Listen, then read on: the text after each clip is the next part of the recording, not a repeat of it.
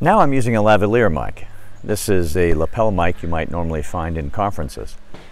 So it may not have quite as good as noise reduction for wind, but should give decent audio quality no matter where I am. So if you're videoing a presentation or anyone speaking outdoors or video blogger or YouTuber, no matter what they're doing out here or how far they are from the camera, you should have consistent, clear audio, which at any location ought to be much better.